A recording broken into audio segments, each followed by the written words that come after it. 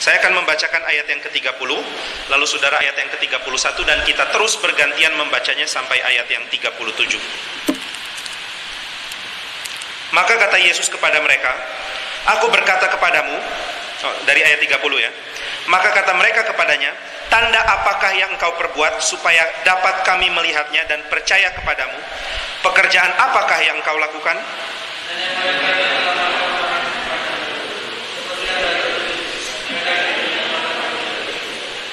Maka kata Yesus kepada mereka, Aku berkata kepadamu, sesungguhnya bukan Musa yang memberikan kamu roti dari surga, melainkan Bapakku yang memberikan kamu roti yang benar dari surga.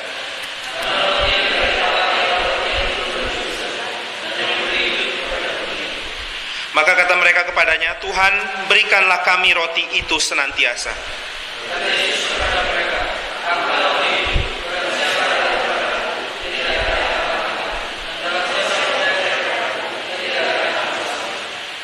Tetapi aku telah berkata kepadamu, sungguh pun kamu telah melihat aku, kamu tidak percaya.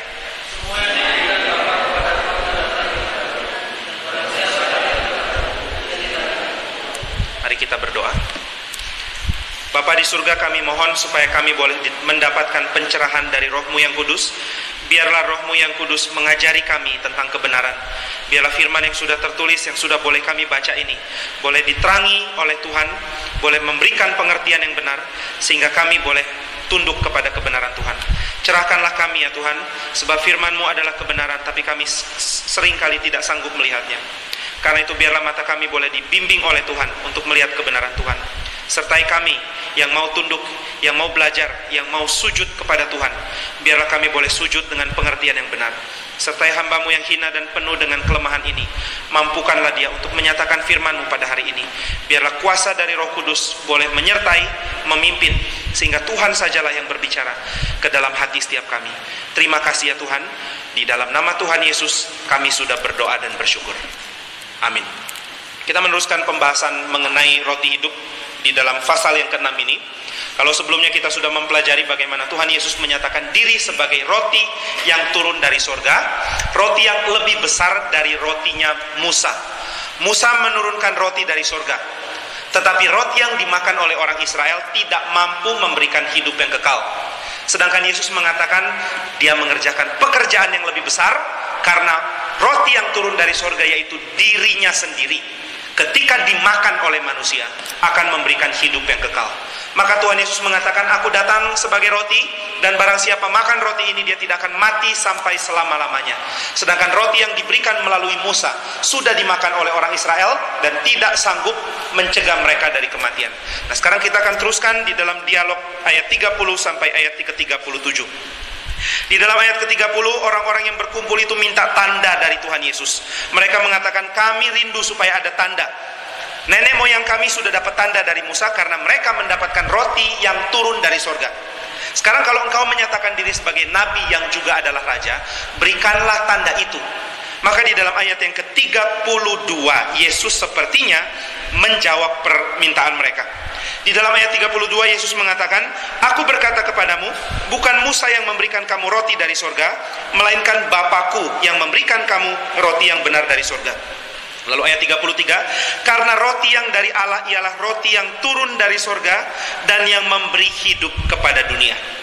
Nah, kita akan membahas sedikit mengenai dua dialog ini. Mengapa dialog ini sangat penting sebelum kita melanjutkan pembahasan. Saudara di dalam ayat ke-30 mereka menentang Tuhan Yesus.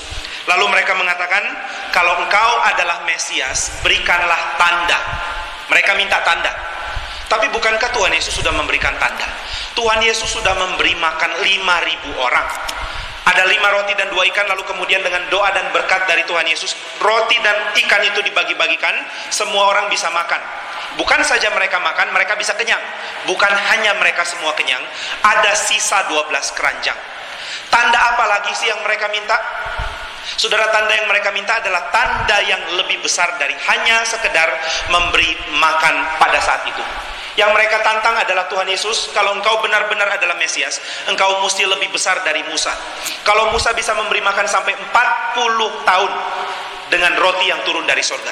Maka sekarang engkau mesti mengerjakan lebih daripada hanya memberikan kami makanan satu kali. Jadi mereka minta tanda yang lebih dahsyat. Jangan cuma berikan tanda seperti ini.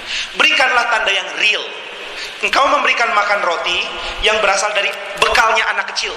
Sekarang coba berikan roti yang benar-benar turun dari langit. Berikanlah roti yang benar-benar dapat kami lihat turun dari langit. Maka Tuhan Yesus mengatakan, memang Bapa di sorga akan memberikan roti yang turun dari langit. Seolah-olah Tuhan menyetujui permintaan mereka. Maka di dalam ayat 34 dikatakan oleh mereka, Tuhan berikanlah kami roti itu senantiasa. Bukankah ini pertanyaan atau permintaan yang sangat-sangat tulus? Tuhan menyatakan bahwa roti akan dikirimkan oleh Allah dari sorga. Lalu orang-orang ini mengatakan, berikanlah kami roti itu saat ini. Berikanlah kami roti itu senantiasa. Saudara ayat ini mengingatkan kita terhadap peristiwa yang ada di dalam pasal yang keempat. Di dalam pasal yang keempat, Tuhan Yesus bertemu dengan seorang perempuan Samaria. Lalu perempuan Samaria ini dimintai air oleh Tuhan Yesus. Tuhan Yesus mengatakan, berikanlah aku air dari sumur itu. Lalu perempuan itu mengatakan, masakan kau minta air daripadaku? Lalu Tuhan mengatakan, andai kamu tahu siapa saya, kamu akan minta air hidup dari saya. Dan saya akan memberikan kamu air, lalu air yang aku berikan itu akan menjadi sumber yang berkelimpahan di dalam dirimu. Lalu perempuan itu minta, kalau begitu kasihlah saya sumur uh, air itu, supaya saya tidak perlu datang ke sumur ini lagi lalu menimba air. Jadi si perempuan itu minta, tetapi permintaan yang diminta oleh perempuan itu adalah permintaan yang keluar dari salah mengerti firman. Salah mengerti apa yang dikatakan Tuhan Yesus. Tuhan Yesus berfirman, dia menangkap tetapi dia salah menangkap. Lalu dia mengatakan, saya minta air itu supaya saya tidak perlu timba lagi dari sumur ini. Hal yang sama terjadi di dalam pasal 6, karena di dalam pasal yang ke-6 orang-orang ini pun minta roti itu senantiasa. Tuhan berikanlah kami roti itu senantiasa supaya apa? Supaya kami nggak perlu cari roti lagi. Bukankah ini menyenangkan? Kalau kami tidak perlu cari roti ini menyenangkan. Kalau kami tidak perlu kerja lalu kami boleh dapat mujizat dipelihara oleh Tuhan dengan roti yang turun dari surga. Ini lebih menyenangkan. Jadi Tuhan memberitakan sesuatu kepada mereka yang penting, tetapi yang mereka tangkap adalah sesuatu yang masih sesuai dengan kerangka berpikir mereka yang lama. Orang yang datang kepada Tuhan, lalu kerangka berpikirnya tidak pernah dirombak oleh firman Tuhan, maka dia sesungguhnya tidak sedang datang kepada Tuhan. Saudara ini adalah kesalahan dari begitu banyak ajaran yang menawarkan jalan pintas. Kalau kamu datang kepada Tuhan Yesus, kamu akan dapat jalan pintas. Kamu dapat jalan pintas di dalam kesuksesan. Kamu dapat jalan pintas di dalam mencari kesembuhan. Kamu dapat jalan pintas di dalam usahamu. Sehingga orang-orang yang mencari jalan pintas seperti ini datang kepada Tuhan. Orang-orang yang tidak mau proses datang kepada Tuhan. Orang-orang yang mau mujizat dan sulapan dari Tuhan datang kepada Tuhan. Tetapi hal ini tidak pernah dijanjikan oleh Tuhan. Tuhan tidak pernah menjanjikan bahwa orang yang datang kepada Tuhan Yesus akan disingkirkan dari kesulitan. Tuhan tidak pernah menjanjikan bahwa orang yang datang kepada Tuhan Yesus akan disingkirkan dari air mata. Tuhan tidak pernah menjanjikan bahwa orang yang datang kepada Tuhan Yesus akan disingkirkan dari segala macam penyakit ini tidak pernah ada dalam janji Tuhan. Tetapi banyak orang salah mengerti. Kenapa mereka salah mengerti? Karena konsep berpikir yang lama belum diruntuhkan oleh Tuhan. Saudara, apa sih yang namanya pertobatan? Di dalam bahasa Yunani, pertobatan mengandung arti berputar, pindah haluan. Tadinya bergerak ke satu arah, sekarang putar balik, lalu kembali kepada Tuhan. Putar balik yang total. Bukan cuma sekarang saya lebih baik dalam tingkah laku moral. Kalau dulu suka mencuri, maka sekarang saya sudah mengurangi mencuri. Kalau dulu saya jahat, sekarang saya sudah tidak terlalu jahat. Tetapi Alkitab mengatakan itu cuma satu sisi. Ada sisi yang lain yang perlu dirubah, yaitu cara saya berpikir, cara saya mau mengenal Tuhan, cara saya mengerti firman Tuhan, cara saya memandang hidup, cara saya untuk bekerja dan melakukan semua yang lain. Semua ini perlu perombakan yang berasal dari Tuhan. Jadi sebelum manusia pikirannya dirombak, dia masih punya konsep yang lama. Dan kalau konsep yang lama ini dibawa di dalam kekristenan, maka dia akan menuntut supaya Tuhan boleh bertindak sama dengan apa yang dia sudah pikirkan selama ini. Siapakah Mesias? Mesias adalah orang yang bisa memberikan sejahtera bagi orang Israel. Siapakah Mesias? Mesias adalah yang bisa memberikan kemerdekaan. Siapakah Mesias? Mesias adalah yang bisa berjuang melawan pemerintahan Roma. Lalu datang Yesus. Dia tidak pernah menyandang pedang, dia tidak pernah membuat satu tentara, dia tidak pernah menggerakkan orang-orang untuk melawan orang Romawi. Maka beberapa mulai kecewa sama Tuhan Yesus. Kalau engkau Mesias, kenapa tidak pernah lakukan hal-hal ini? Tetapi sekarang Tuhan Yesus mengerjakan mujizat. Meskipun dia tidak pernah memimpin perang, setidaknya dia pernah memberi makan 5000 orang. Maka orang-orang ini mulai berpikir untung rugi kemudian mengatakan, "Nah, kalau begini caranya, engkau boleh jadi juru selamat. Engkau boleh jadi Mesias." Kenapa boleh? Karena ternyata engkau bisa kasih makan kami. Jadi urusannya kembali kepada perut. Kenapa pilih pemimpin? Karena pemimpin ini bisa memastikan saya boleh kenyang. Kenapa pilih partai politik yang ini? Karena partai politik ini kalau berhasil memerintah akan memastikan saya bisa kerja dengan baik, lalu perut saya bisa kenyang. Jadi semua kembali kepada perut. Kalau perutku kenyang, saya akan sembah orang ini. Kalau perut saya kenyang, saya akan nobatkan dia menjadi raja. Tetapi Tuhan Yesus tidak mau orang-orang sedemikian. Tuhan tidak ingin orang-orang seperti ini menjadi pemujanya. Tuhan tidak ingin orang-orang seperti ini menjadi pengikutnya. Maka sebelum Tuhan menerima mereka, Tuhan menyaring mereka dulu. Cara menyaringnya bagaimana? Cara menyaringnya adalah dengan Tuhan nyatakan dengan keras dan dengan jelas apa yang menjadi kehendaknya dan apa yang menjadi firman yang benar. Lalu siapa yang tersaring oleh firman, mereka akan keluar. Tetapi siapa yang menerima firman ini dengan lemah lembut, mereka lah yang akan menjadi pengikut Kristus yang sungguh-sungguh. Karena itu Tuhan Yesus mengatakan, Akulah roti itu, bukan roti yang kamu pikirkan. Selama ini engkau mencari aku karena engkau sudah makan roti lalu menjadi kenyang. Selama ini mencari Tuhan karena Tuhan bisa kasih makan. Tapi Tuhan mengatakan makanan yang akan aku berikan jauh lebih penting dari makanan yang engkau cari. Saudara, kenapa sih Tuhan mempertentangkan antara mencari makan dengan mujizat yang dia kerjakan? Kenapa Tuhan menolak orang-orang yang mencari dia karena ingin kenyang? Salahkah orang untuk mencari kepentingan yang dasar seperti makanan? Apakah salah kalau saya kerja untuk bisa mendapatkan makanan? Apakah salah kalau saya mengharapkan Tuhan bisa memberkati saya, lalu memberikan saya makanan, memberikan saya perlindungan, memberikan saya keleluasaan di dalam menjalankan usaha? Bukankah ini tidak salah? Ada orang yang menjadi Kristen karena dia berpikir dengan menjadi Kristen usahanya makin maju. Ada orang menjadi Kristen karena mengatakan kalau saya jadi Kristen, pikiran saya lebih maju. Ada orang jadi Kristen karena dia mengatakan kalau saya jadi Kristen saya bisa hidup lebih baik. Apakah salah? Saudara tidak salah kalau kita mengharapkan sesuatu dari Tuhan. Yang salah adalah kalau yang saya harapkan itu sesuatu yang sempit, lalu karena sesuatu yang sempit ini saya lupa untuk melihat sesuatu yang jauh lebih dalam yang sebenarnya Tuhan nyatakan. Maka pada bagian ini Tuhan mengatakan, akulah roti itu. Bukan seperti roti yang pernah engkau makan. Dan dengan lebih keras lagi Tuhan mengatakan, bukan seperti roti yang pernah dimakan oleh pengikut Musa. Di manakah pengikut Musa sekarang? Nggak ada satupun yang masih hidup. Maka Tuhan Yesus mengatakan mereka makan roti yang Musa turunkan dari langit dan mereka semua mati. Nggak ada yang bisa bertahan hidup karena makan rotinya Musa. Di dalam Alkitab ada beberapa jenis roti. Yang pertama adalah roti yang diturunkan dari surga lalu dimakan oleh orang-orang Israel. Ini roti yang mujizatnya luar biasa. Bayangkan kalau turun roti dari surga, kemudian saudara bisa makan roti itu. Ini roti pemberian dari Tuhan loh. Pabriknya di mana? Pabriknya tidak terdapat di daerah Bogor, pabriknya tidak terdapat di Jakarta, pabriknya di surga. Lalu siapa yang kelola? Nah kita nggak tahu siapa yang kelola, tapi ada tradisi dari orang Yahudi yang mengatakan bahwa ini rotinya malaikat.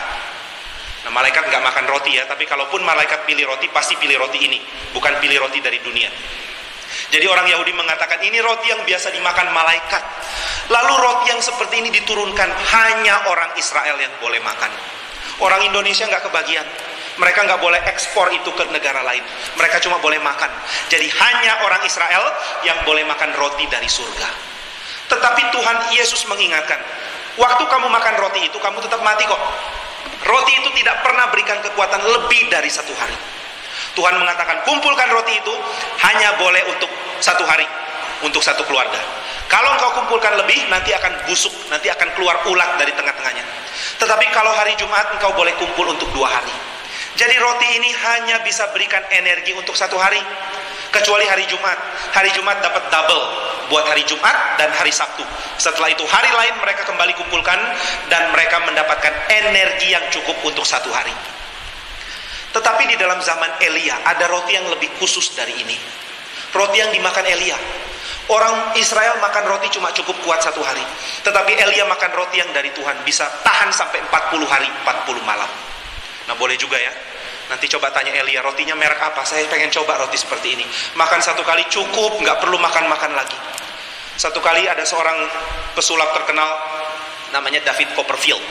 Saya nggak tahu nama aslinya siapa, tapi dia ambil nama mistik-mistik Copperfield. Lalu dia mengatakan, saya ini orang yang sangat gila kerja. Andaikan nggak usah makan untuk bertahan hidup, saya akan senang hati nggak usah makan. Yang penting saya bisa kerja terus. Sayang sekali waktu kerja saya harus berhenti, kemudian saya mesti makan. Lalu saya makan cepat-cepat, kemudian balik lagi kerja. Maka kalau dia baca Alkitab, dia pasti ingin merindukan makan rotinya Elia. Makan satu kali 40 hari 40 malam nggak perlu makan lagi. Nah siapa di sini yang gila kerja? Coba tanya Elia deh, mereknya di mana? Mereknya merek apa? Lalu boleh dapat dari mana? Elia diberikan roti ini kemudian dia makan satu kali lalu dia jalan tanpa berhenti. 40 hari 40 malam mendaki gunung dan akhirnya sampai di puncaknya. Para pendaki juga boleh cari roti ini makan roti ini kuat mendaki gunung saya kalau diajak pergi ke Bromo selalu harus siapkan makanan begitu banyak. Ada Ibu Hani yang biasanya siapkan babi kecap. Lalu ketika ditanya kenapa harus nasi dan babi kecap? Campuran nasi dan babi kecap punya satu kekuatan untuk melindungi kita dari dingin, katanya begitu. Jadi kalau sudah makan nasi dan babi kecap, dinginnya Bromo nggak terasa lagi. Nah, saya nggak tahu benar atau nggak. Saudara silahkan coba sendiri. Tapi makanan ini jauh lebih hebat dari itu loh. Karena makan satu kali saudara bisa daki gunung tanpa kelelahan sama sekali.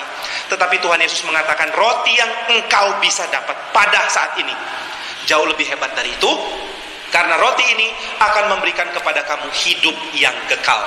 Jadi ada tawaran hidup yang kekal dari Tuhan Yesus. Dan ada tawaran hidup yang sementara dari roti sehari-hari yang ada di dunia ini.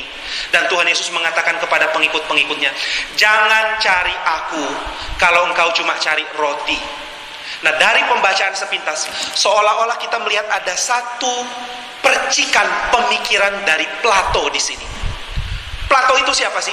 Plato adalah filsuf Yunani yang hidup 400 tahun sebelum Kristus. Apa pendapat dia yang paling populer? Plato punya begitu banyak pendapat yang sangat baik dan satu di antaranya yang paling terkenal adalah pemisahan antara dunia ide di atas dan dunia materi di sini. Dunia materi adalah dunia yang bisa dilihat, dunia yang bisa diraba, dunia yang bisa dirasa, dunia yang bisa didengar, dunia yang dengan panca indera bisa kita mengerti. Dan Plato mengatakan ini dunia yang sangat-sangat rendah. Lalu dunia apa yang agung? Plato mengatakan dunia yang tidak ada kaitan dengan semua indera kita. Itulah dunia yang agung. Jadi dunia yang tidak ada kaitan dengan saya bisa lihat, saya bisa cium, saya bisa dengar, saya bisa raba. Nah, ini dunia yang baik. Lo dunia mana yang bisa kita lihat, eh, yang bisa kita mengerti tanpa dilihat, tanpa bisa dicium, tanpa bisa didengar, tanpa bisa diraba. Socrates, Plato mengatakan dunia ide, dunia yang hanya bisa dipikir tapi nggak bisa dilihat. Dunia yang hanya bisa dipikir tapi tidak bisa disentuh. Dunia yang hanya bisa dipikir tapi tidak bisa dipersepsi dengan indera-indera kita. Maka ada satu dunia yang bukan dunia ini. Inilah dunia yang lebih baik. Maka pemikiran kita yang secara ideal kita bisa pikirkan itu terjadi karena ada dunia yang sempurna. Saudara kenapa bisa punya konsep kesempurnaan? Ini terjadi karena ada dunia yang sempurna. Saudara kalau lihat ada orang, kok saudara bisa bedakan ada orang ganteng, ada orang jelek? Kenapa bisa tahu? Pernah pikir ini enggak? Kenapa waktu lihat orang langsung bilang aduh jeleknya gitu ya? Lalu kalau lihat orang lagi bisa bilang aduh gantengnya. Lalu foto dia kemudian bisa pamerkan fotonya ke mana-mana. Kenapa bisa begitu? Kenapa saya bisa punya konsep ini cantik, ini jelek, ini ganteng, ini jelek? Plato mengatakan karena di dalam diri kita ada kehausan untuk yang ideal. Yang ideal itu seperti apa? Saya sangat rindu. Maka ketika ada yang mencerminkan yang ideal lebih besar dari yang lain, saya lebih suka yang ini. Maka kalau ditanya, saudara yang belum punya pacar, kalau mau pilih pacar, pilih yang cantik atau yang jelek? Yang penting rohaninya ya. Tapi kalau bisa sih rohani sekaligus jasmani. Gitu. Yang cantik sekaligus juga yang baik. Nah kenapa mau pilih yang cantik? Karena menurut Plato, yang cantik itu lebih menggambarkan yang ideal daripada yang jelek. Mohon maaf bagi yang jelek ya, jangan sakit hati dengar khotbah ini. Terimalah kenyataan. Jadi Plato mengatakan ada yang ideal, lalu semua yang dekat kepada yang ideal itu membuat kita suka. Kenapa saya lebih suka orang baik dari orang jahat? Apakah karena orang jahat menyakiti saya? Bukan. Saya lebih suka orang baik karena yang baik itu lebih mencerminkan yang ideal. Jadi yang ideal itu secara moral baik, secara keindahan paling tinggi, secara etika paling dalam, secara kebenaran paling benar. Inilah yang ideal. Lalu yang ideal itu seperti apa? Yang kita tidak bisa mengerti dengan indera, tapi yang bisa kita renungkan dengan pikiran. Maka Plato mengajak, mari kita mikir tentang yang ideal, bukan melihat. Jadi saya pikirkan baik-baik lalu saya bisa punya konsep tentang yang ideal itu. Nah ini adalah pemikiran yang akhirnya menganggap semua dunia materi itu rendah. Kenapa rendah? Rendah karena bukan bersifat ideal. Dan sedikit banyak kita sedang mengikuti jalur seperti ini. Mana yang lebih bisa mendatangkan uang? Orang yang kerja pakai otak atau orang yang kerja pakai otot? Orang yang kerja pakai otak. Orang yang kerja pakai otot kurang banyak. Kenapa bisa begitu? Karena menurut Plato yang kerja pakai otak lebih dekat dengan yang ideal. Jadi ini pemikiran yang terus mewarnai dunia sampai bahkan sampai zaman sekarang. Orang-orang terus mengatakan yang ada di dunia itu jelek. Mari kita cari yang di surga sana. Maka kalau saudara mencari sesuatu atau melakukan sesuatu demi roti yang terlihat, itu sesuatu yang hina. Tapi kalau saudara bekerja untuk roti yang tidak terlihat, ini baru sesuatu yang mulia. Sepertinya begitu ya. Nah ini adalah pemikiran yang mulai muncul di dalam dunia Yunani. Kemudian pada abad yang ketiga awal, pemikiran ini kembali muncul. Tapi kali ini ada seseorang yang menentang. Nah saudara pemikiran ini dipopulerkan pada awal abad ketiga oleh seorang bernama Plotinus. Plotinus ini hidup sezaman dengan seorang Kristen bernama Origen. Dua-duanya pinternya bukan main. Dan menurut ahli sejarah pada zaman itu tidak banyak orang pintar dan dua orang ini menjadi seperti berlian di tengah-tengah batu kerikil. Semua yang lain kurang, tapi dua ini pintarnya bukan main. Yang satu Kristen, yang satu tidak percaya kepada Tuhannya orang Kristen. Nah, Plotinus mengatakan, semua yang ada di dunia bisa kita mengerti. Lalu semua yang ada di dalam dunia ide, pengertiannya itu makin lama makin buram maka Plotinus mempunyai pemikiran yang makin jelas itu rendah, yang makin tidak jelas itu tinggi. Kalau saya bisa lihat pohon, maka pohon itu rendah. Kalau Tuhan tidak bisa saya lihat, maka Tuhan pasti lebih tinggi dari pohon. Tetapi ada sesuatu yang jauh lebih tinggi lagi, bahkan lebih tinggi dari Tuhan. Apa itu? Itu adalah sesuatu yang satu, di only one. Lalu apakah yang satu itu? Plotinus mengatakan yang satu itu adalah yang kita nggak bisa tahu. Loh kok aneh? Jadi makin tinggi makin kita nggak tahu, makin gelap, makin rumit, makin tidak bisa dijelaskan. Karena itu Plotinus mengatakan semua yang bisa dijelaskan secara indera adalah sesuatu yang rendah. Lalu yang bisa dijelaskan secara pemikiran adalah sesuatu yang tengah. Lalu sesuatu yang tidak bisa dijelaskan secara pemikiran adalah sesuatu yang paling tinggi. Setuju dengan teori ini? Siapakah Tuhan? Nggak bisa dijelaskan. Nah ini berarti Tuhannya tinggi. Kalau siapakah Tuhan? Oh Allah itu adalah Esa, tapi juga tiga, Tritunggal. Kalau masih bisa dijelaskan berarti Allahnya masih kurang tinggi. Maka menurut Plotinus Allah adalah sesuatu yang paling tinggi harusnya. Kalau kita masih bisa jelaskan maka itu hanyalah ilah-ilah yang berada dalam posisi yang lebih rendah. Lalu siapa yang tertinggi? Yang tertinggi adalah Allah yang satu itu. Seperti apakah dia? Kita nggak tahu. Maka banyak pemikiran Kristen yang anti doktrin sebenarnya berkaca pada Plotinus ini. Siapa Tuhan? Oh nggak bisa dijelaskan. Ngapain belajar stream? Stream itu mempelajari Tuhan yang sebenarnya nggak bisa dijelaskan. Jadi kita nggak perlu teologi, nggak perlu doktrin, karena Tuhan yang kita sembah melampaui pikiran. Nah ini seolah-olah murni ya, wah orang suci, orang yang sungguh-sungguh rohani. Tetapi sebenarnya orang yang menjadi pengikutnya Plotinus, bukan pengikut Alkitab. Jadi Plotinus mengatakan yang paling tinggi itu tidak terjelaskan. Lalu orang Kristen mulai diracuni dengan pemikiran ini. Sehingga setiap kali ditanya, siapakah Tuhan? Jawabannya langsung, misteri, tak terjelaskan. Siapakah Tuhan? Beyond comprehension. Siapakah Tuhan? Beyond thinking. Siapakah Tuhan? Beyond understanding. Siapakah Tuhan? Enggak usah dibahas karena nggak bisa dimengerti. Pokoknya dia ada sudah selesai sampai di situ. Nah, tapi kemudian muncul satu orang namanya Origen. Origen ini menentang pemikiran Plotinus dengan mengatakan, mengapa kamu berpikir semua yang ada dalam dunia materi itu adalah sesuatu yang jelas, lalu sesuatu yang tidak jelas itu yang paling tinggi. Maka dia mulai putar pertanyaannya. Nah ini perbedaan antara orang pintar dengan orang yang kurang. Orang pintar itu bisa melihat celah yang akhirnya membuat orang yang punya konsep mati kutu. Nah, Origen adalah satu orang yang bisa membuat Plotinus mati kutu. Sedangkan kalau kita, kita nggak bisa membuat Plotinus mati kutu. Kita cuma bisa bikin dia kutuan. Tetapi Origen ini membuat satu argumen yang membuat Plotinus akhirnya tidak bisa argumen balik. Origen mengatakan, kenapa engkau berpikir bahwa apa yang kelihatan itulah yang jelas? Saudara bisa lihat batu, berarti batu itu jelas. Lalu yang tidak bisa dijelaskan itu yang paling tinggi.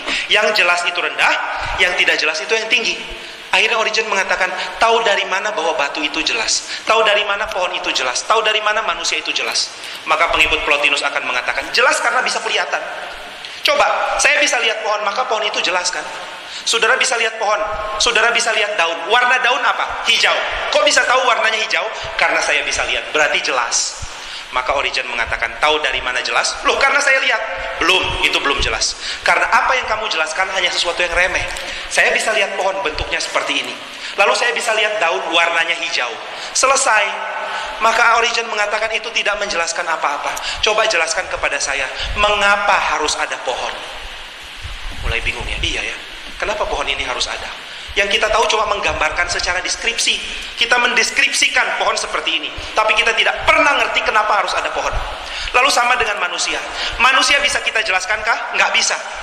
Karena kita tidak pernah tahu tujuan manusia apa hanya dengan melihat manusia. Bisakah saudara menjelaskan saya hanya dengan melihat saya? Coba jelaskan saya dengan melihat saya.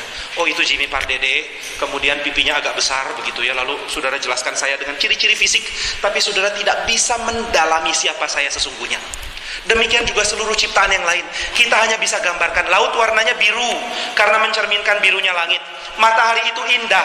Lalu semua yang ada itu menjadi jelas karena kita bisa jelaskan.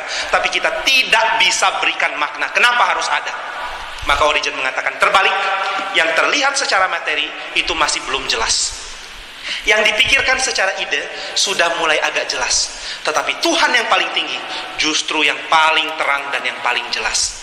Karena ketika kita kembali kepada Tuhan, baru kita bisa mengerti untuk apa dunia ada. Waktu kita kembali kepada Tuhan, baru kita tahu apa nilai dari semua yang sudah dicipta dalam dunia ini. Saudara kalau tangkap dua ini langsung tahu dua orang ini sangat pintar.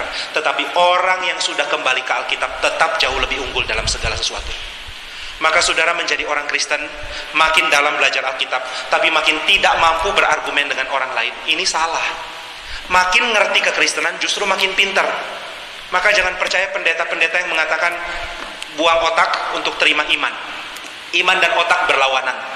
Saya di Manado tanya sama anak-anak yang ikut KKR, siapa di antara kalian yang beriman kepada Yesus? Banyak angkat tangan. Lalu saya tanya, siapa di antara kalian nggak punya otak? Nggak ada yang mau angkat tangan. Berarti iman dan otak nggak harus bertentangan kan? Maka orang yang beriman mempunyai ketajaman berpikir yang tidak dimiliki oleh orang tidak beriman. Saya tidak mengatakan orang menjadi Kristen pasti lebih pintar dari soal nilai, dari soal kecepatan menangkap sesuatu. Belum tentu. Tetapi di dalam mengerti segala sesuatu dengan holistik, mengerti segala sesuatu dengan utuh. Ini adalah keunggulan dari orang Kristen karena sekarang kita sudah kembali kepada Allah dan Allah membuat kita mengerti apa yang terjadi dalam dunia ini. Satu kali C.S. Lewis ditanya, dari mana kamu tahu bahwa iman Kristen itu benar? Apakah kamu melihat iman Kristen itu benar? C.S. Lewis menjawab, bukan saja saya melihat iman Kristen itu iman yang benar, tapi karena melalui iman Kristen, saya bisa melihat sesuatu yang lain. C.S. Lewis pakai contoh matahari. Tahu dari mana matahari itu ada?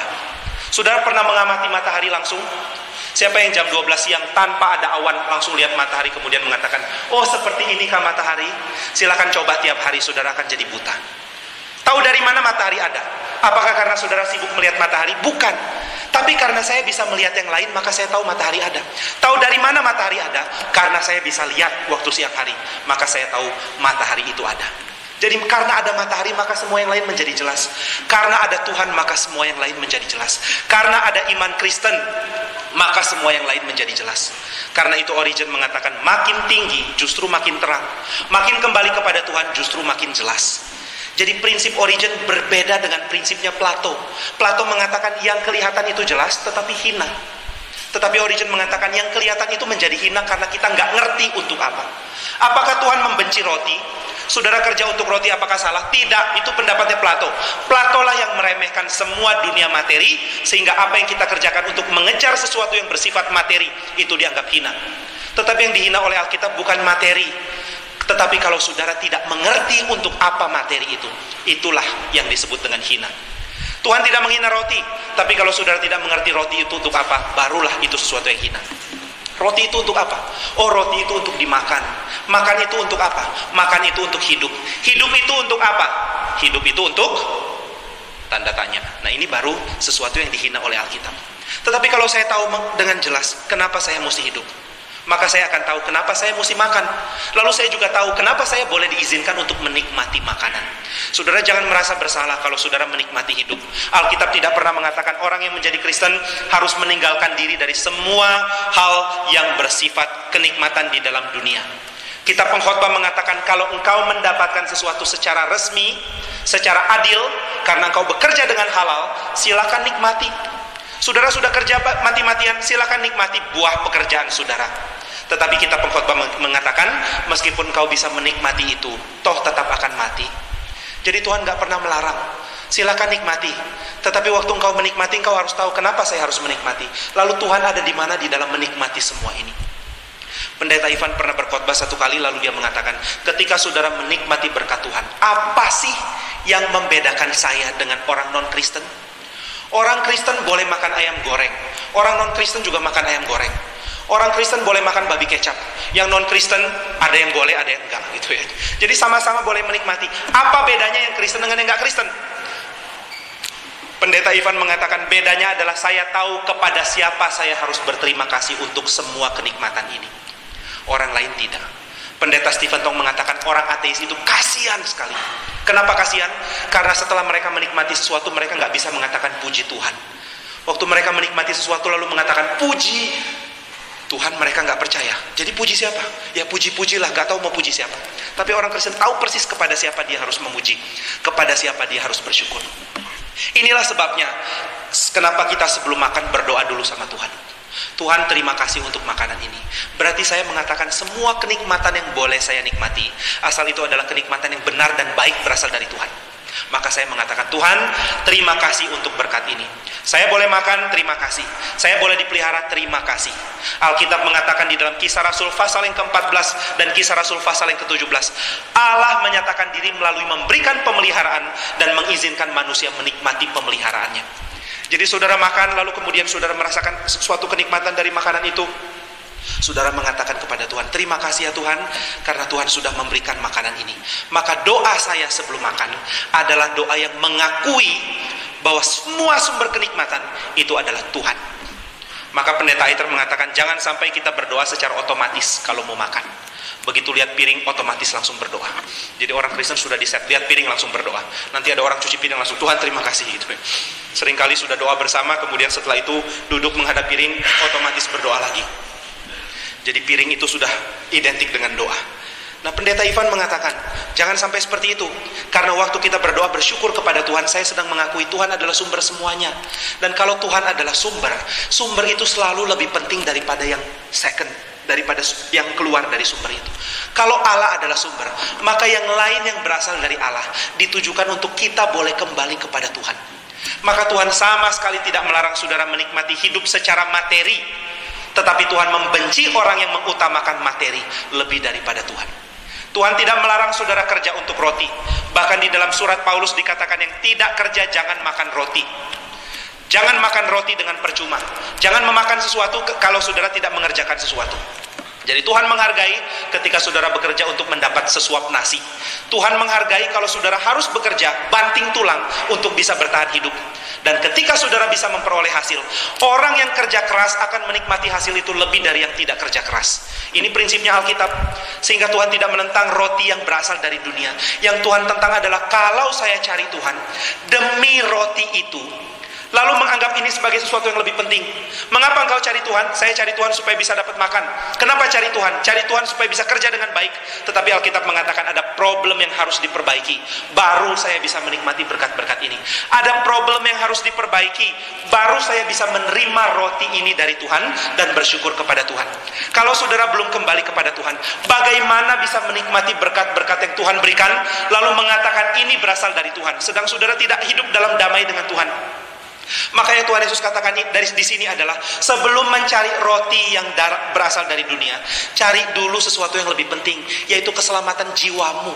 Saudara masih hidup di dalam ancaman kematian, lalu yang saudara sibuk cari adalah sesuatu yang bersifat sementara. Orang Israel sudah cari roti lalu mereka makan, toh mereka tetap mati. Banyak orang sibuk dengan pekerjaannya, toh mereka tetap mati. Ada orang yang mem memberikan hidup untuk mencari keamanan-keamanan dunia, toh mereka tetap mati. Siapa sih di antara manusia yang setelah mempunyai jabatan yang nyaman, dan jabatan yang aman, akhirnya terhindar dari kematian? Nggak ada kok. Maka Alkitab di dalam pasal ini mengingatkan, mari cari roti yang sejati dulu. Cari roti yang tidak bisa membuat kamu mati dulu. Baru kemudian boleh bersyukur untuk hal-hal lain yang lebih remeh. Maka di sini Tuhan Yesus menyatakan ada sesuatu yang lebih penting yang mesti engkau cari dan sesuatu itu adalah hidup yang kekal. Apa sih hidup yang kekal itu? Saudara sekalian, kita terlalu sering mengatakan percaya Yesus engkau akan mendapatkan hidup yang kekal. Tetapi begitu ditanya kita tidak bisa menjawab dengan jelas apa yang disebut dengan hidup yang kekal. Satu kali saya pernah mengatakan penginjilan kepada satu orang. Ini adalah satu orang supir taksi yang kritisnya bukan main. Jangan remehkan supir taksi. Supir taksi yang saya dapat ini adalah seorang yang sudah punya gelar master, tapi kurang pintar cari kerja akhirnya cuma dapat tempat ini. Lalu pikirannya tajam bukan main. Lalu ketika kita sharing dia mengatakan, "Saya mau tanya, apa sih bedanya Yesus dengan yang lain?"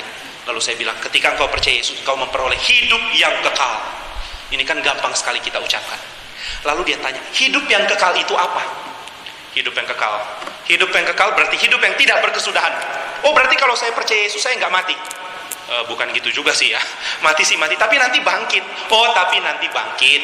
Jadi orang Kristen nggak punya dali untuk kematian akhirnya mengatakan dongeng yang mengatakan akan bangkit. Coba saya tanya siapa sih yang sudah pernah bangkit? Siapa di antara saudara yang menjadi Kristen pernah mati lalu bangkit Jangan angkat tangan ya, angkat tangan berarti bohong. Atau mungkin benar saudara pernah mati suri terserahlah. Tetapi ini pertanyaan yang sulit untuk dijawab. Apa maksudnya hidup yang kekal? Apakah setelah saya percaya kepada Tuhan Yesus saya tidak akan mati-mati lagi? Kalau benar saya tidak akan mati-mati lagi, bukankah ini cara penginjilan yang paling efektif? Saudara injili orang lalu tanya, Bapak umur berapa? Lalu orang itu bilang, saya 40 tahun. Lalu saudara mengatakan, perkenalkan, umur saya 4000 tahun. Loh, Kok bisa hidup 4000 tahun? Karena saya sudah punya hidup yang kekal. Maka tiap hari nggak mati-mati. Setiap hari ulang tahun bertambah terus. Sekarang kalau merayakan ulang tahun, kue tartnya mesti panjangnya bukan main. Lilinnya 4000. Lalu kalau tiup mesti pakai peniup balon, nggak bisa tiup pakai paru-paru saya karena sudah terlalu banyak lilinnya. Andaikan benar seperti ini gampang loh penginjilan. Saudara tinggal injili orang lalu mengatakan mau nggak seperti saya, umur 800 masih kelihatan muda. Lalu dia bilang mau, percayalah kepada Tuhan Yesus karena ketika engkau percaya Tuhan Yesus, engkau tidak akan mati sampai selama-lamanya. Faktanya nggak begitu kok. Siapa di antara saudara yang yakin saudara akan menembus angka 200 di dalam usia saudara? 200 bulan mungkin ya, tapi 200 tahun siapa yang berani? Maka tidak ada orang Kristen yang tidak mengalami kematian kok. Kalau begitu apa maksudnya hidup yang kekal? Saudara ini pertanyaan yang sulit untuk dijawab, tetapi kita mesti kembali ke kitab kejadian. Di dalam kitab kejadian, ular menggoda Hawa. Lalu mengatakan, kalau engkau makan buah ini engkau tidak akan mati, tetapi engkau akan mempunyai mata yang terbuka. Lalu Hawa akhirnya makan. Di dalam KKR di SMA kemarin saya tanya kepada anak-anak SMA, siapa yang salah perempuan atau laki-laki? Yang laki-laki langsung teriak, perempuan! Langsung jadi paduan suara yang kompak sekali. Laki-laki itu gampang sekali menyalahkan perempuan. Dari dulu begitu. Waktu Tuhan tanya kepada Adam, siapa yang salah? Adam langsung tunjuk Hawa. Dan sekarang keturunannya melakukan hal yang sama. Siapa yang salah? Perempuan, ada kur. Lalu ada kur balasan dari perempuan, uh, begitu ya. Lalu sebelum kur itu berlanjut, saya hentikan lagi mereka dengan tanya, tahu dari mana perempuan yang salah? Lalu mereka mengatakan, Alkitab bilang begitu. Lalu saya ajak mereka baca Alkitab, baru mereka sadar. Perempuan itu salah mengerti firman ular. Jadi perempuan tidak bisa disalahkan untuk dosa karena mereka salah mengerti ajaran dari ular. Jadi satu-satunya yang bisa kita jelaskan adalah mungkin perempuan itu agak susah mengerti dosa. Itu baik ya. Laki-laki cepat sekali ngerti dosa. Kalau perempuan lambat ngertinya. Sudah dikasih tahu ini loh yang berdosa seperti ini masih lambat ngerti. Ular sudah mengatakan kalau engkau makan buah ini engkau akan jadi seperti Allah.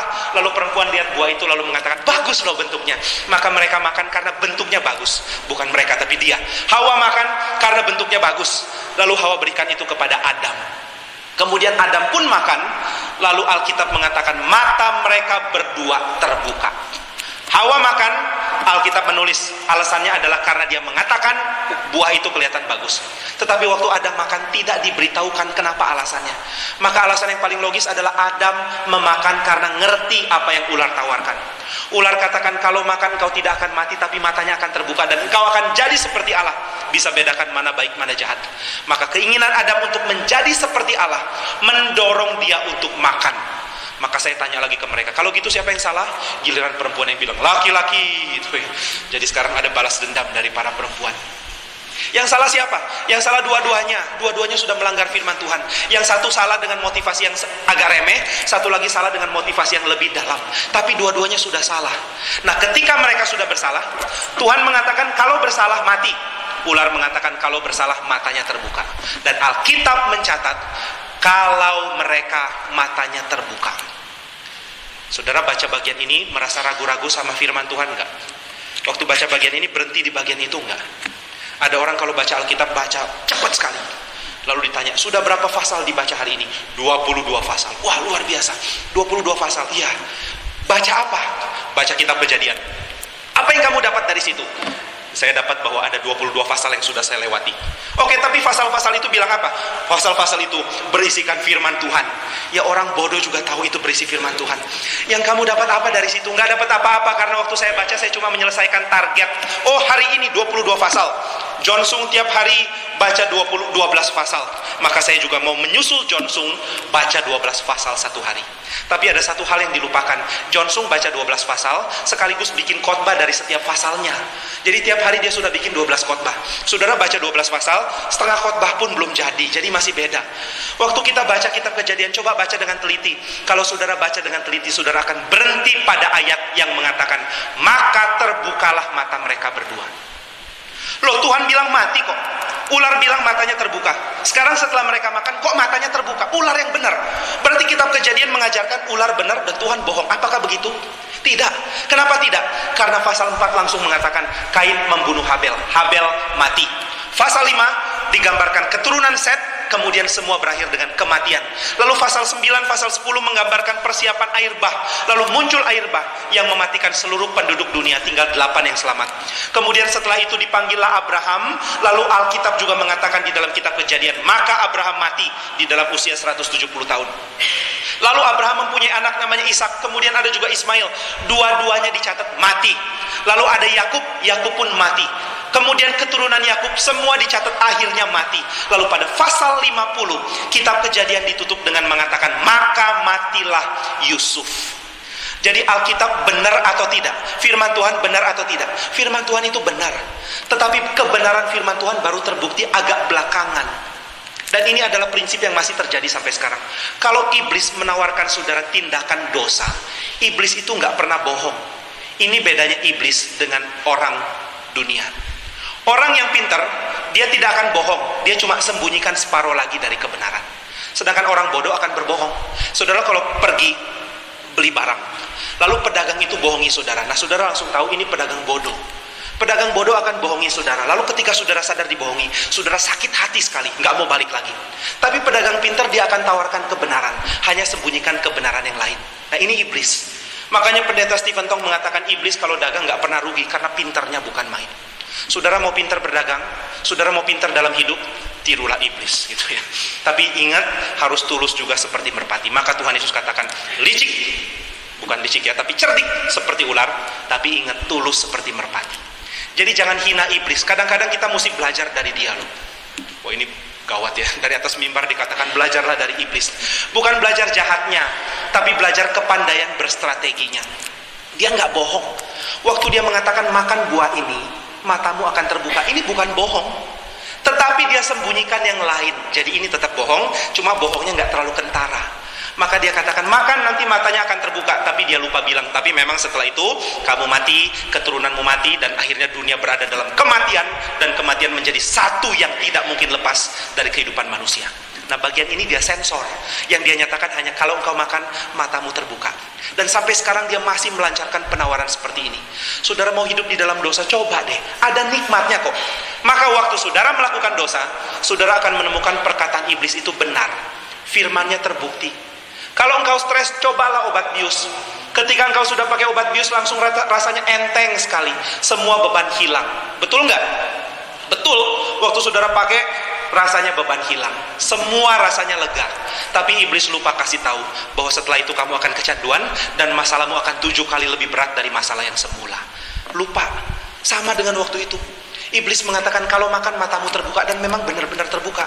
Tetapi mulai dari pasal 4 sampai pasal 50 terus memberitakan manusia pada akhirnya mati. Jadi tetap mati kok. Loh kenapa manusia harus mati? Manusia mati karena sudah melanggar firman. Kenapa melanggar firman menjadi mati? Karena melanggar firman membuat manusia jadi putus dari sumber hidup. Lalu dengan melanggar firman membuat manusia menjadi lupa akan siapakah sumber hidup dan memilih untuk hidup bagi dirinya sendiri. Dan ketika manusia hidup bagi dirinya sendiri, semua aspek dalam hidup ditempatkan untuk diri. Dan waktu seluruh aspek ini ditempatkan untuk diri, itulah yang membuat seluruh aspek ini menjadi hina. Beda dengan Plato. Plato mengatakan seluruh aspek ini hina, tapi orang Kristen mengatakan seluruh aspek ini mulia. Tetapi begitu diambil dari Tuhan, kemudian diberikan untuk diri. Di sinilah aspek ini menjadi aspek yang hina. Sekarang saya tanya kepada saudara, kalau saudara punya mobil, mobil ini barang haram atau barang halal? Kalau saudara beli dengan usaha saudara sendiri. Ini barang yang halal kan? Tapi kemudian ada pencuri mencuri mobil saudara. Apakah ini berarti mobil saudara jadi mobil haram? Ya atau tidak? Enggak ya. Tapi pencuri ini melakukan tindakan yang haram. Maka mobil ini selama berada di tangan pencuri menjadi barang haram. Tetapi begitu mobil ini dikembalikan kepada saudara, mobil ini tidak lagi menjadi barang haram. Hal yang sama terjadi dengan dunia materi. Dunia materi ini adalah barang halal selama ini diberikan kepada pemiliknya yaitu Tuhan. Tetapi dunia materi ini menjadi barang haram setelah diambil oleh manusia lalu ditempatkan untuk menunjang hidup dan tidak mempedulikan Tuhan. Inilah kenapa Tuhan mengatakan, cari dulu roti hidup, barulah roti yang kamu bisa makan tiap hari menjadi bermakna. Cari dulu hidup yang kekal, karena hidup yang kekal berarti kembali kepada Tuhan di dalam seluruh aspek hidup, sehingga saudara bisa mendapatkan diri menjadi orang yang kembali kepada kehendak Tuhan. Dan ketika kita sudah kembali kehendak Tuhan, kepada kehendak Tuhan, seluruh bagian hidup yang lain menjadi satu bagian yang indah Tuhan tidak pernah suruh kita untuk hidup sulit. Tuhan hanya menyuruh kita kalaupun hidup harus sulit, tetap berani karena berpegang kepada Tuhan. Ini tidak berarti kalau saudara hidup nikmat langsung berasa berdosa sama Tuhan, tidak. Tetapi kalau kita menikmati hidup lepas dari Tuhan, maka seluruh yang kita nikmati menjadi sesuatu yang sia-sia. Sia-sia karena tidak kembali kepada Tuhan. Maka Tuhan Yesus mengatakan, carilah dulu roti hidup yang dapat membawa engkau kepada hidup yang kekal. Apakah hidup kekal itu? Di dalam Yohanes 17 dikatakan hidup yang kekal adalah mengenal Allah dan mengenal Yesus. Mengenal Allah dan mengenal Yesus berarti berelasi dekat dengan Allah dan Yesus. Berelasi dekat dengan Allah dan Yesus berarti berelasi begitu intim sehingga saya dan Allah dan saya dan Yesus menjadi satu. Maka Yesus berdoa di dalam pasal 17, jadikanlah mereka satu sama seperti aku dan engkau satu dan mereka dengan aku satu supaya baik mereka maupun aku dan engkau ya Bapakku di surga semua menjadi satu. Nah, inilah jawaban bagi kematian orang Kristen. Nah, sekarang saya kembali sedikit untuk menjawab pertanyaan yang tadi. Kenapa orang Kristen berani mengatakan dirinya mempunyai hidup yang kekal padahal toh mati? Saudara, kematian orang Kristen itu beda dengan kematian semua orang lain. Alkitab mengatakan orang dunia mati karena persekutuan dengan Adam. Berarti kematian kita adalah kematian karena dosa. Lalu Yesus datang menjadi manusia. Waktu Yesus datang menjadi manusia, Yesus mengidentikan diri dengan manusia berdosa, meskipun dia tidak berdosa. Jadi dia tidak berdosa, tetapi dia mengalami nasibnya orang berdosa. Dengan demikian dia mengidentikan dirinya dengan kita yang berdosa, dia mengidentikan dirinya dengan upah dosa yaitu maut. Tetapi ketika Yesus sudah mengidentikan dirinya dengan orang berdosa, lalu mengalami kematian, maka Yesus bangkit, kemudian bangkitnya Yesus membuat dia menjadi kepala yang baru. Jadi kepala yang lama adalah Adam, sekarang kepala yang baru adalah Kristus. Sehingga kalau dulu manusia mati karena persekutuan dengan Adam, sekarang kita mati karena persekutuan dengan Kristus. Jadi Kristus datang untuk mengidentikan dirinya dengan kematian orang berdosa, supaya nanti semua yang berada dalam Kristus mengidentikan dirinya dengan kematian Kristus. Karena itu kalau ada orang tanya, mengapa orang Kristen harus mati? Kita mengatakan orang Kristen mati karena sekarang kita mengikuti kepalanya, yaitu Kristus yang mati tetapi bangkit Adam mati, nggak pernah bangkit. Kristus mati, tetapi bangkit. Maka siapa berada di dalam Kristus menjadi satu dengan kematiannya, supaya menjadi satu dengan kebangkitannya. Roma pasal 6. Roma pasal 6 mengajarkan orang Kristen tidak mati karena dosa. Orang Kristen mati karena Kristus mati. Orang Kristen menjalani hidup yang mirip Kristus. Kristus menjalani hidup yang mirip orang berdosa supaya nanti kita menjalani hidup yang mirip Kristus. Karena itu kalau ada yang tanya, kenapa orang Kristen harus mati? Katanya punya hidup kekal. Oh, kita mati sebagai bagian dari hidup kekal itu. Sama seperti Kristus memperoleh hidup kekal, lalu mati kemudian bangkit di dalam proses untuk memperoleh hidup kekal. Demikian juga kami memperoleh proses mati kemudian bangkit sama seperti Kristus mati lalu dia bangkit. Lalu orang yang tidak di dalam Kristus apa bedanya? Yang tidak di dalam Kristus mati karena dosa. Mati di dalam Adam. Maka Roma pasal 3 dan Roma pasal 5 menjelaskan ini dengan sangat tuntas. Orang Kristen mati bukan karena dosa. Orang Kristen mati karena meneladani Kristus. Lalu kenapa kematian Kristus berbeda? Karena kematian Kristus adalah kematian bagi dosa satu kali untuk selama-lamanya. Dan kebangkitannya adalah kemenangan bagi dosa satu kali sampai selama-lamanya. Dengan demikian kita menjadi satu dengan kematiannya, lalu kita boleh menjadi satu dengan kebangkitannya. Berbahagialah orang yang percaya kepada Yesus karena memperoleh hidup yang kekal. Maka Tuhan Yesus mengatakan, "Aku datang supaya engkau boleh memakan aku." Lalu ketika engkau sudah memakan aku, engkau akan memperoleh hidup yang kekal, yang tidak mungkin diberikan oleh roti yang lain. Bagaimana cara makan Tuhan Yesus? Caranya adalah dengan percaya kepada dia, beriman kepada dia. Maka saudara yang sudah percaya kepada Kristus, saudara sudah menjadi satu dengan Kristus, sudah menjadi satu dengan kematian, dan sudah menjadi satu dengan kebangkitannya. Dan dengan demikian, sudah memperoleh hidup yang kekal. Maka dari sinilah Tuhan Yesus mengatakan kepada orang-orang Israel itu, mari datang kepadaku, mari datang. Lalu ketika engkau sudah datang, engkau akan memperoleh hidup yang kekal itu. Datanglah kamu semua. Tetapi di sini ada satu ayat yang begitu luar biasa di dalam pasal yang ke-36 dan pasal ke-37. Saya akan bacakan. Tetapi aku telah berkata kepadamu, sungguh pun kamu telah melihat aku, kamu tidak percaya. Semua yang diberikan Bapa kepadaku akan datang kepadaku dan barang siapa datang kepadaku ia tidak akan kubuang. Di sini Tuhan Yesus berbicara tentang predestinasi sekaligus respons manusia secara seimbang. Saudara satu kali seorang mahasiswa di institut yang sekarang sudah lulus, sekarang melayani di Bali, dia pernah sharing kepada saya. Dia senior saya beberapa tahun. Lalu dia mengatakan, waktu pertama saya masuk, saya nggak ngerti teologi. Dia adalah seorang pemain piano dan dia datang untuk belajar musik. Lalu ketika masuk institut baru tahu ternyata musiknya musik gereja. Jadi selain belajar musik juga mesti belajar teologi, lalu mengaitkan kedua-duanya. Lalu ketika dia belajar teologi, dia mengerti bahwa teologi reform mengajarkan predestinasi. Apa itu predestinasi? Tuhan menetapkan. Waktu dia sadar ini dia kacau sekali dan dia kaget dia bukan main. Kalau begini caranya, ngapain hidup? Aduh, celaka sekali kalau hidup ditentukan seperti ini. Maka dia mengatakan dia menolak sekali. Kemudian perlu waktu ber, sampai sekitar hampir dua tahun baru akhirnya dia menerima pengertian ini. Kenapa orang susah sekali menerima teori predestinasi? Salah satunya adalah karena dengan demikian kebebasanku sebagai manusia diambil oleh Tuhan. Tuhan yang tentukan, Tuhan yang pilih. Saya tidak mungkin bisa percaya kalau Tuhan tidak pilih, dan saya tidak mungkin tidak percaya kalau Tuhan sudah pilih. Kalau begitu saya nggak punya kebebasan lagi.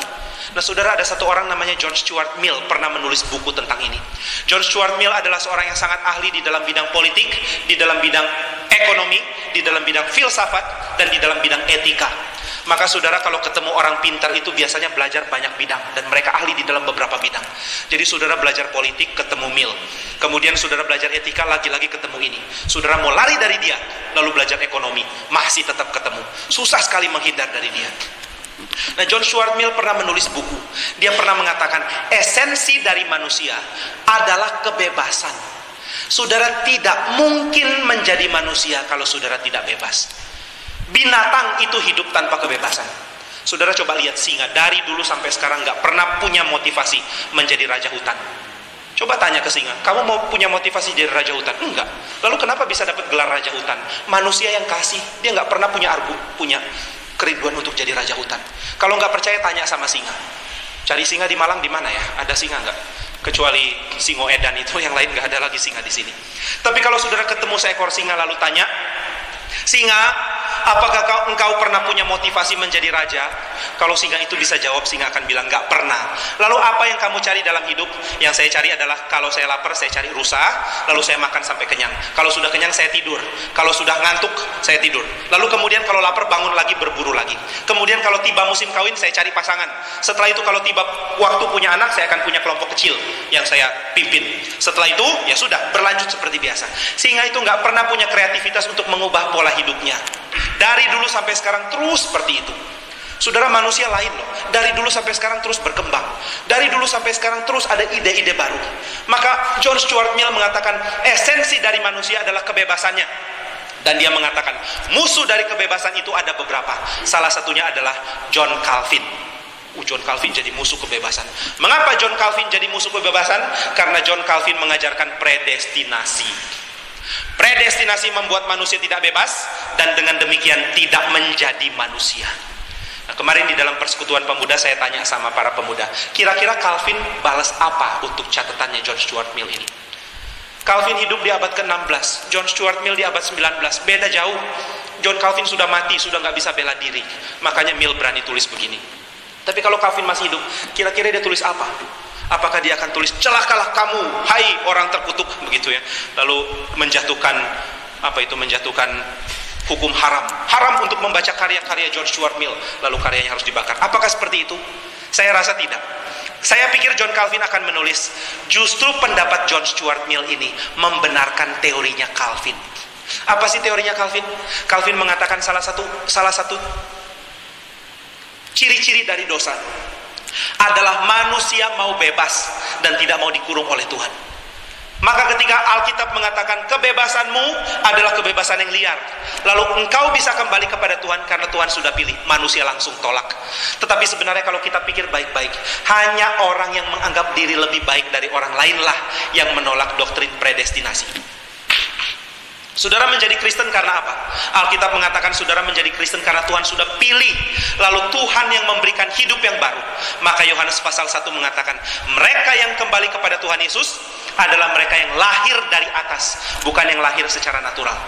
Mereka yang datang kepada Tuhan Yesus adalah mereka yang sudah mengalami proses supranatural dari Roh Kudus, bukan dari proses natural dari pemikiran dan keputusan kehendak manusia. Dengan demikian siapa yang bisa kembali kepada Tuhan Yesus adalah orang yang hanya kembali kepada Tuhan Yesus. Karena Allah Bapa sudah gerakkan maka orang yang menyadari hal ini akan mengatakan orang lain yang tidak datang kepada Tuhan Yesus tidak lebih jelek dari saya. Saya tidak lebih baik dari orang lain karena saya beriman. Sebab kemampuan saya beriman pun datang dari Tuhan. Karena itu siapa tidak percaya doktrin predestinasi adalah orang yang secara otomatis akan menganggap dirinya lebih baik dari orang yang tidak mau percaya. Tapi orang reform nggak berani mengatakan begitu. Kalau ada orang diinjili, lalu dia menolak, kita tidak pernah mengatakan saya lebih baik dari engkau. Karena kemampuan saya mengatakan ya kepada Tuhan. Ini anugerah. Karena Tuhan menggerakkan, maka saya datang kepada Tuhan Yesus. Karena Tuhan sudah pilih, maka saya bisa berespons kepada Tuhan. Jadi mulut kita terkunci untuk berani sombong sama orang lain. Ketika saya mau megahkan diri dari orang lain, saya langsung ingat-ingat, saya hanya lebih baik karena Tuhan sudah pilih. Saya lebih baik karena saya sudah berespons dan saya bisa berespons karena Tuhan sudah pilih. Maka predestinasi adalah sesuatu yang mutlak kalau saudara mau menjadi orang Kristen yang rendah hati. Predestinasi akan disingkirkan dan saudara secara otomatis akan menjadi lebih sombong. Kalau ditanya, kenapa engkau percaya Yesus? Karena saya memutuskan percaya. Kenapa engkau bisa memutuskan untuk percaya? Karena saya pakai kebebasan saya untuk memilih percaya. Kalau begitu engkau percaya dengan kekuatanmu sendiri? Ya, dengan kekuatan saya sendiri. Berarti mereka yang tidak percaya lebih jelek dari engkau dan engkau lebih baik dari mereka. Secara otomatis iya. Karena toh saya memutuskan ini sendiri.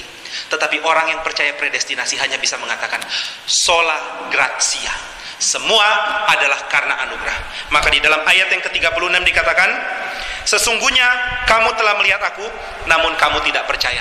Semua orang yang melihat Tuhan Yesus secara otomatis tidak mau percaya. Semua orang yang sudah menerima wahyu Tuhan secara otomatis akan menolak. Tetapi kenapa ada orang yang tidak menolak? Kenapa ada orang yang datang? Ayat 37 dikatakan karena mereka yang datang itu ditarik oleh Bapa kepada Kristus. Tetapi orang yang ditarik oleh Bapa kepada Kristus adalah orang yang akan berespon selalu datang kepada Tuhan. Maka pilihan Tuhan adalah pilihan yang ditetapkan oleh Tuhan sebelum dunia jadi. Tetapi respons iman adalah suatu syarat mutlak dari orang yang dipilih. Tidak ada orang bisa dipilih lalu selamat tanpa beriman. Semua orang yang dipilih pada akhirnya akan datang, akan beriman kepada Tuhan Yesus. Mereka pada akhirnya akan datang lalu mengatakan, "Oh Tuhan, saya memerlukan Engkau, saya mau percaya kepada Engkau." Jadi tidak ada respons yang di, tidak digerakkan oleh Tuhan dan tidak ada gerakan dari Tuhan yang tidak berwujud di dalam respons saya mau datang kepada Tuhan Yesus. Dan Tuhan Yesus menggambarkan ini dengan luar biasa di dalam ayat 36, 37, 38. Kalau tidak dipilih, tidak mungkin ada yang datang. Lalu kenapa ada yang bisa datang? Ayat 37, karena digerakkan oleh Bapa. Lalu apa tandanya seseorang digerakkan? Yaitu mereka datang kepada Tuhan Yesus. Maka di dalam KKR regional saya memanggil orang-orang mari datang kepada Tuhan Yesus. Pilihlah untuk datang kepada Tuhan Yesus. Putuskanlah sekarang untuk datang kepada Tuhan Yesus. Gunakanlah kebebasanmu untuk datang kepada Tuhan Yesus. Tetapi ketika mereka mengatakan iya lalu mereka datang, ini berarti mereka sudah dipilih oleh Tuhan, lalu mereka digerakkan oleh Tuhan. Jadi antara predestinasi, pra penetapan Tuhan, kedaulatan Tuhan dan kehendak bebas manusia dijelaskan dengan begitu luar biasa hanya di dalam tiga ayat ini. Lalu di dalam ayat 37 juga Tuhan Yesus mengatakan, "Semua yang datang kepadaku tidak akan kubuang." Di ayat 38 dikatakan, "Semua yang datang akan diberikan hidup yang kekal." Maka saudara kalau sudah datang kepada Tuhan Yesus, sejelek apa pun dulu saudara, Tuhan akan tetap terima. Tuhan tidak pernah tolak orang yang datang kepada dia karena orang yang datang kepada dia adalah hadiah dari Bapa kepada Kristus. Kristus tidak mungkin tolak karena orang ini digerakkan oleh Bapa berarti orang ini diberikan oleh Bapa kepada Kristus. Kenapa Allah Bapa pilih orang ini? Nggak ada yang tahu kenapa. Yang pasti bukan karena orang ini lebih baik dari yang lain. Maka kalau saudara sudah datang kepada Tuhan Yesus, Tuhan Yesus tidak mungkin buang. Setiap orang yang sudah datang, Tuhan tidak akan singkirkan. Ini adalah tema Injil yang begitu luar biasa. Inilah kenapa Injil disebut kabar baik. Saudara punya hidup yang rusak, saudara datang kepada Tuhan Yesus, Tuhan tidak akan buang. Saudara punya hidup yang begitu jelek. Manusia mungkin buang, tapi Alkitab mengatakan kalau Tuhan Yesus tidak mungkin membuang saudara. Masa lalu saudara sejelek apa Tuhan tidak peduli. Saudara sudah pernah melakukan tindakan sejelek apa dulu Tuhan tidak peduli. Asalkan ketika Tuhan memberikan kesempatan, datanglah kepada dia. Bertobat dari dosa dan datang kepada Tuhan Yesus. Dan Tuhan tidak mungkin buang. Satu kali ada seorang teolog namanya Jeremy Begbie, dia seorang teolog dan juga seorang ahli musik, memberikan ilustrasi mengenai hal ini di dalam bentuk musik. Nah, di dalam dunia musik ada satu orang bernama Niccolo Paganini, hidup pada abad ke-18, seorang pemain biola yang paling luar biasa. Ada yang mengatakan dia mendapatkan keahlian main biola dari setan. Nah, saya nggak percaya itu ya. Saya yakin dia dapat keahlian itu dari Tuhan. Setan nggak pernah bisa kasih keahlian kepada manusia. Tetapi dikatakan dia begitu hebat luar biasa. Dan ketika dia main itu banyak orang seperti tersihir. Maka Niccolo Paganini adalah rocker model pertama. Musiknya bukan musik rock, tapi pemujanya memuja dia bagaikan pemusik rock. Zaman dulu kalau dia merokok pakai cerutu, lalu dibuang. Semua penggemar perempuannya rebutan cerutunya. Kemudian kalau dia main biola lalu stringnya ada yang putus, lalu dia buang. Semua penggemarnya rebutan string itu. Nah saya nggak tahu kalau dia buang ingus lalu direbut diperebutkan juga atau enggak. Tetapi dia adalah orang yang sangat populer dan pemain biola yang luar biasa. Nah, dia mengeluarkan satu karya biola yang terdiri dari 24 bagian. Ini yang dinamakan Caprice dari Paganini. Ini merupakan opusnya yang pertama. Dan di dalam semua kapris ini ada kapris yang terakhir nomor 24 yang susahnya bukan main. Nah, tema utama dari kapris ini adalah tam tadadadadam tadadadadam tadadadadam tam tam tadadadadam tadadadadam tadadadadam tam. Saudara kalau dengar nada ini, merinding atau enggak? Ini nada yang misterius sekali. Kalau saudara nggak merinding itu mungkin karena suara saya bagus jadinya nggak terdengar misterius. Tapi ini musik yang dimaksudkan untuk memberikan satu misteri, satu kekacauan, satu kegelapan. Sehingga ada yang mengatakan waktu dengar kapris nomor 24 dari Paganini seolah-olah setan sendiri sedang main biola. Nah, saya nggak tahu setan main biola kayak apa, tapi katanya kayak Paganini lagi main kapris nomor 24. Nah ini terjadi di abad 18. Tapi dua abad kemudian, abad ke-20, tahun 1900 awal, ada seorang pemain piano yang luar biasa bernama Sergei Rachmaninov. Nah, Rachmaninov ini membuat variasi dari kaprisnya Paganini yang ke-24. Variasi ini panjang sekali sampai 18 menit. Lalu ini merupakan satu karya piano tersulit yang pernah ada di dunia ini. Ada dua karya piano yang dikatakan paling sulit di dunia ini. Yang pertama adalah variasinya Paganini dari Rachmaninov. Yang kedua adalah piano konserto nomor 3 juga dari Rachmaninov. Waktu pertama ditulis orang mengatakan mustahil ada manusia bisa main. Mungkin malaikat bisa. Tapi ternyata banyak juga orang bisa main. Mungkin mereka separuh malaikat tangannya. Nah, Paganini Tulis Kapris 24. Lalu Rahmaninov bikin variasinya. Lalu satu variasinya indahnya bukan main. Di dalam pertengahan variasi itu ada satu nada yang seperti ini. Tam ta da da da. Da da da da da. Na na na na na na. Tam ta da da da. Na na na na na. Ta da na na na. Bagus atau enggak? Kalau kurang bagus karena suara saya serak gitu ya. Tapi ini nada yang bagusnya bukan main. Lalu ini adalah variasi dari tam tadadadadam tadadadadam tadadadadam. Kok bisa sih? Yang satu mengerikan, yang satu begitu bagus. Dari mana bisa tam tadadadadam bisa jadi na na na na ta na na na na.